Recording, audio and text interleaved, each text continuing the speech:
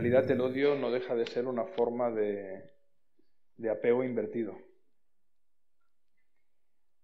William Faulkner, que es un maravilloso novelista, fue, tiene una novela que se llama Las palmeras salvajes, y la última frase de Las palmeras salvajes es, entre el dolor y la nada, prefiero el dolor.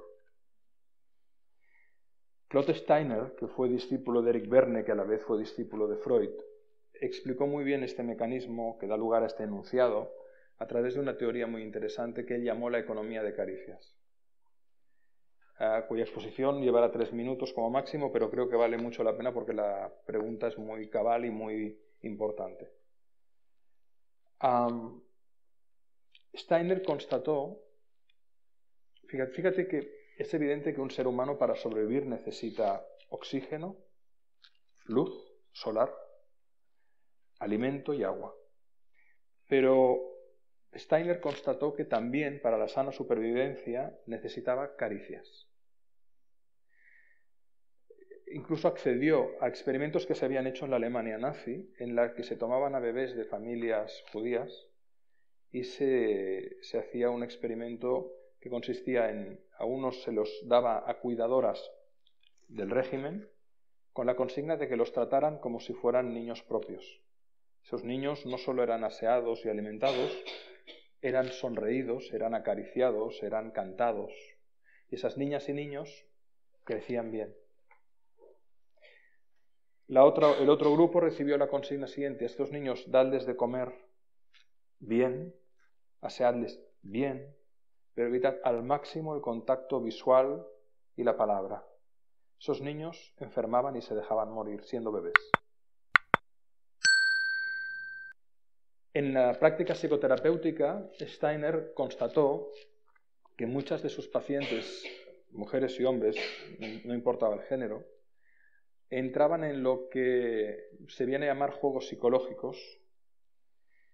Por ejemplo, el adolescente que se revela muchas veces no lo hace porque le apetezca rebelarse, que en parte tiene que hacerlo para separarse y matar al padre y a la madre simbólicamente para construir su propia identidad. Pero muchas veces cuando lo hacen al límite es porque en el, fondo que acaba recibiendo ese adolescente, en un contexto donde la persona, el padre y la madre, no ha recibido una cierta educación emocional y social, recibe gritos y eventualmente una bofetada.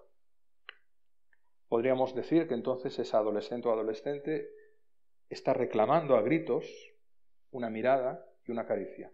Pero como no sabe cómo obtenerla de manera normal, lo que hace es provocar. Hay muchas relaciones en las que entre el dolor y la nada se prefiere el dolor. Porque como yo no sé cómo obtener caricias positivas, y cuidado, la caricia Steiner la escribe como stroke. En inglés stroke se traduciría como signo de reconocimiento. Es decir, no me refiero, no nos referimos solo a la caricia física. Una caricia es una mirada. Una caricia es una sonrisa. Una caricia es un papel con un, con un texto cariñoso. Una caricia es cualquier transacción comunicativa que significa al otro que eres consciente de su presencia y lo reconoces. Cuando no te pondré una analogía. Imagínate que vamos en un avión, una avioneta, y caemos en medio del desierto. Caes. Eres piloto, caes, tienes una cantimplora, sales, no tienes brújula y empiezas a deambular. Se te acaba el agua de la cantimplora, sigues andando otro día más, estás sedienta y a lo lejos ves un oasis real.